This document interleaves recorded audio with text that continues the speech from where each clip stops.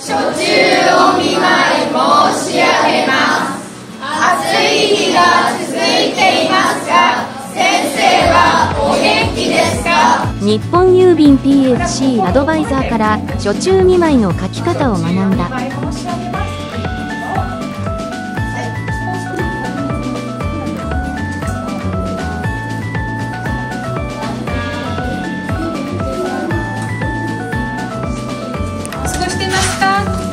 しい気持ちがありますね。初中お見舞い申し上げます。濃い字でよとっても読みやすいですね。お one two three。表彰台の上に乗っている絵。ねすごいね。書き方や字の大きさが知れてよかったです。そしていつも電話とかで話してるのであの手紙とかも使って会話もしてい